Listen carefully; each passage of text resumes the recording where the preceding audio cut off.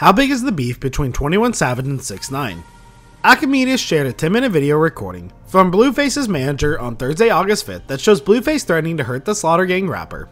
And 6 9 foreshadowing his willingness to act as Don King, a fallout between the two began earlier this week after tensions erupted over 21 Savage's opinion on Wack 100's face to face interview with Akademiks for his off the record podcast.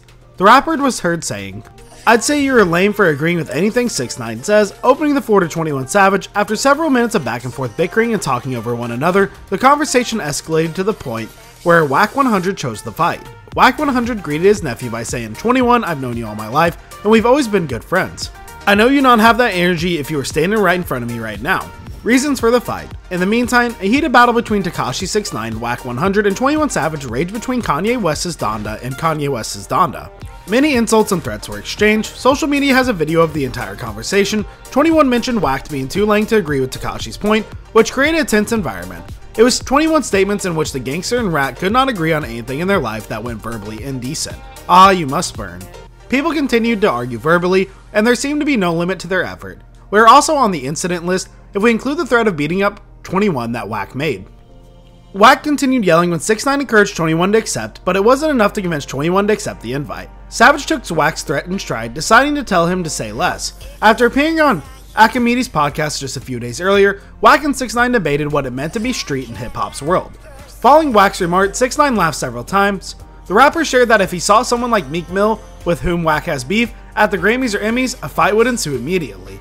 It was a well known fact that 21 Savage and 6 9 were at the same club at the same time per the video, but there wasn't a thing said about it.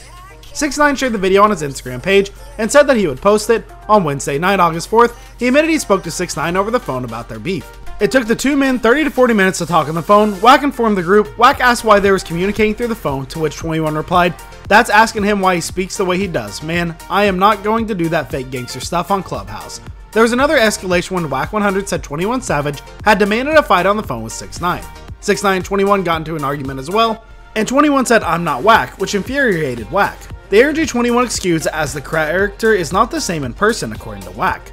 The song Snitches and Rats, performing by 21 Savage and Metro Boomin, was released on 21 Savage album Savage Mode 2 last year.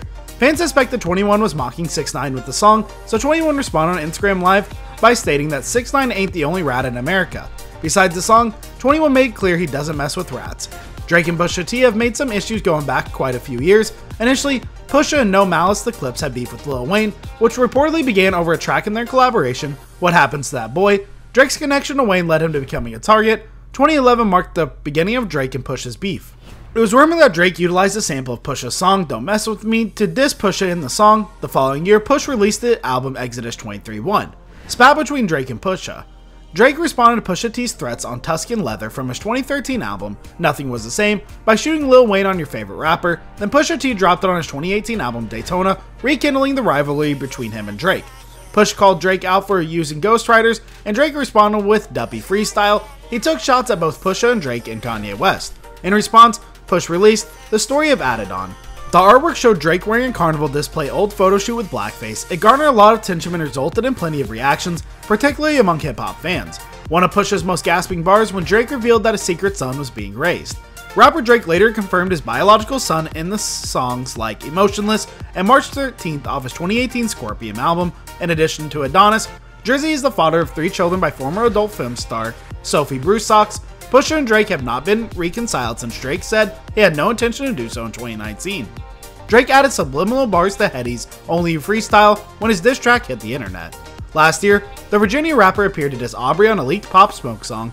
This beef has never been officially ended, but it's currently inactive. Well, that's it for today. I hope you enjoyed the video. If you did, make sure to hit that like button, subscribe to the channel, so you never miss any amazing video from us.